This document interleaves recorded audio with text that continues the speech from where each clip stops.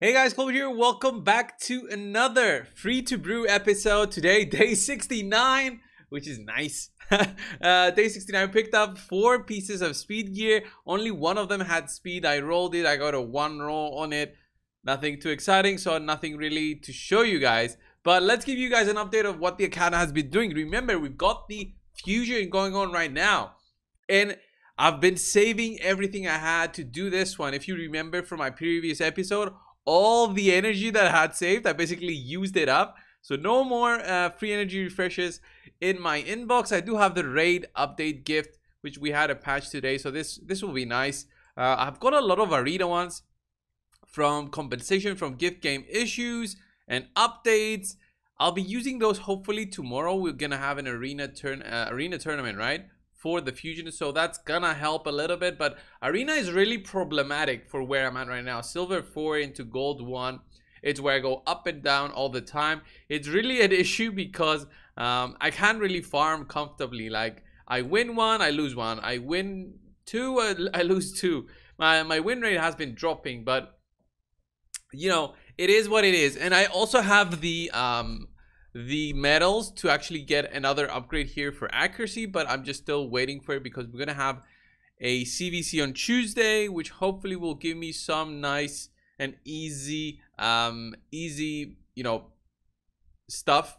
So, so that's going to help me out with the fusion. The biggest issue with the fusion will be the summoning event. So, uh, let me show you very quickly the fragment events, right? So, these are the fragment events. So these are the fragment events right here. We've got 155 shards. I didn't break it down before because I didn't think I needed to, but I'm just to break it on how I think it's to go for me. Like, I've already done the Fire Knight tournament. I got five fragments from there. Artifact Enhancement, five from there. We do have the Champion Training event, which I will be finishing uh, before it it's over, but the Dungeon Divers is the one that's a little bit more difficult for me right? So we've got four events going on right now. The uh, artifact event is over. The dungeon divers, I'm close. I'm at 2,700, so I need I need 1,700, which is a lot for two days, 13 hours. I think it's doable. Champion training, um, I will be getting another, what, 3,000 points? No, 2,000 points only needed. So that's going to be nice. Nice way to get another 15 fragments. I don't, I don't, I'm not able to push for these. If I could, guys, I would, but I'm not. I'm not able with the account I am at the moment. And another big thing that's gonna be what makes or breaks this fusion, guys, is the summoning event and summoning tournament. Right, the summon summon rush has 20, 20 uh, fragments. So how this will probably go will be either 5 and 15 which i think is a lot or either 5 5 and 10 and then we got the Champion Chase Tournament, which probably going to be 5 and 10. And the 5 will be around the 1300 mark. And the 10 will be at a higher point. That's what they usually do, right, guys? And the 1300 mark is, is pretty tough to get, honestly. So, we got 155 fragments, 40 of which are from the leaderboard. So, really, it's 115 fragments. And if you cannot do the Champion Chase, then you gotta do the summon rush, right? And everything else. So that's how this this um these fusions are. The fragment fusions are not easy to do, guys. And the biggest thing is because of this summoning event. They're not that easy to get. But Gaius the Gleeful hopefully will be an arena champion for, for this account and help me push a little bit higher with the bombs, with the sleep. Also, uh, I won't need to push so much for stats like critical damage. Attack will be I think easier to get and his multipliers are pretty solid so I think it's gonna be okay. So I've, I've I was trying to do some maths in terms of the shards that I've got saved up. Remember I've been saving these since forever. Uh, I can't even remember the last time I pulled any shards. I also have some gems but I was trying to do some maths okay? And I was doing like I've got uh, 339 mysteries that's 339 points plus 16 ancients, that's another 320 points, right? Plus two sacreds, that's another 1,000 points. And then uh, 10 void shards is a 1,200. And then another one that I have is another 120. So if I pull everything I have, that's barely 3,000 points. And I'm talking everything, even the mystery shards, right? Barely 3,000 points. if it's 3500 for all the fragments it's gonna be impossible for the account to do it. And it's gonna suck so so much because i'll be like five or, or ten fragments behind completing the full thing which kind of sucks. Which is what they usually want they want you to be at around 90 and then they they'll push a pack. And you're gonna be like a free to play you're gonna wonder right should you just spend the ten dollars and get it over with? So um well that's my thinking behind the summoning but we'll, we'll just see tomorrow. We're gonna have the 10x's, so uh, it's all about the quality of the shards that you'll be opening, not the quality of the champions that you summon. So whatever I summon throughout the weekend, if I get something good, then I won't really mind losing the fusion.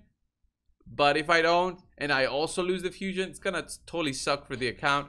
Remember, I'm pushing to get arbiters, so I'm at the fused relic keeper mission right here.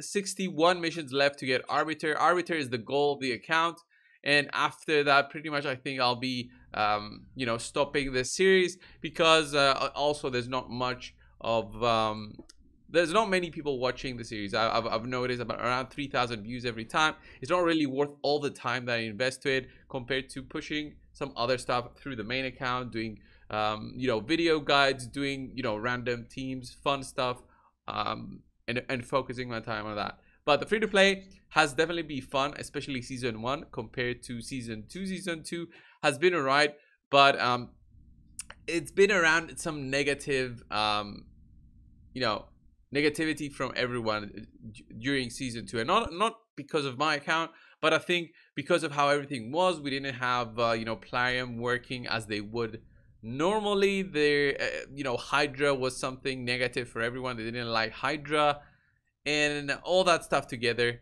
um th that's how it feels at least for me. Maybe i'm wrong.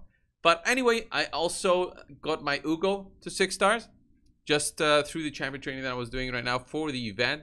So that's a pretty solid six star to to have overall on the account. I'm saving the star right here because that's one of the missions for arbiter to get an ascension to each affinity. So it kind of helps me a ton with the um with the quality of champions that i need to ascend think I also need to ascend a Void Champion, which I, I barely have any Void Champions worth investing in. But maybe those 11 uh, Voids that I have saved prove to be uh, what I'm missing, right?